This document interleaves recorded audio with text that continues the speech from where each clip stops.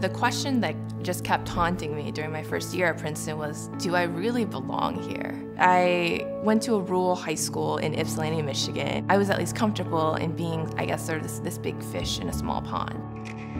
And at Princeton, for my first semester, I decided to just focus on my classes. And the thing was that I just, I was miserable. I was a, a 4.0 um, student valedictorian in my high school, and here I wasn't doing quite quite that well.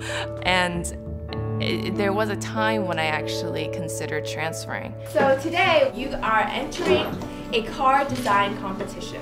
And then I started getting involved with PEEK, which is Princeton Engineering Education for Kids. And that is a student group that takes LEGO Mindstorm kits and actually goes into elementary school classrooms and they teach basic engineering principles um, by using Legos.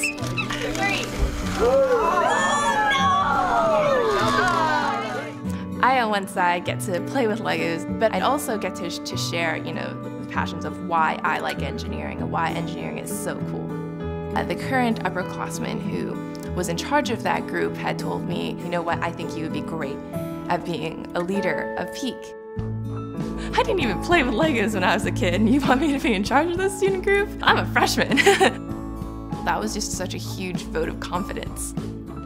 I really started to discover that what I really wanted to do was to spend my time, my skills, my efforts paying forward all of the help that people have given me. And I finally started to feel like I actually did belong and had something valuable to contribute.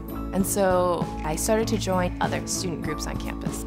Everything from the Pace Center and Community House to Engineers Without Borders, where I was actually able to be on the travel team to Ghana. In high school, I was really into civic engagement, and my, my philosophy in life is that service is the rent we pay for living, which is a quote by Marian Wright Edelman. I think that over the course of the four years, while I've kept to the same vein of civic engagement, I've been able to align my extracurricular interests with my academic interests in engineering.